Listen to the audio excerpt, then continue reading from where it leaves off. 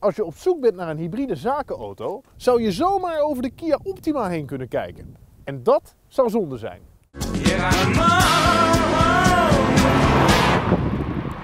De gemiddelde Nederlander weet niet meer hybride auto's op te noemen dan de Toyota Prius. Maar er is zoveel meer te koop.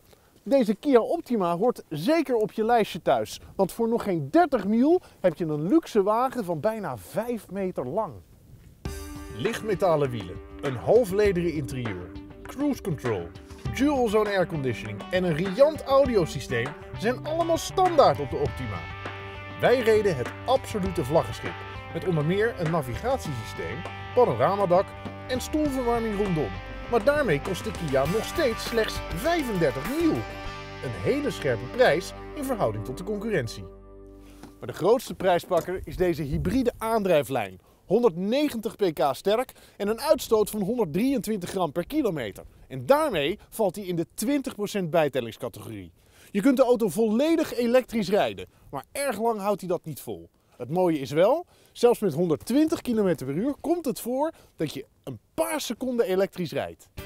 De Kia is een fijne reiswagen, maar voelt wel een beetje log aan.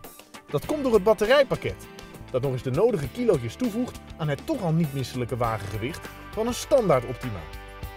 Aanvankelijk gebeurt er dan ook niet zoveel als je het gaspedaal intrapt.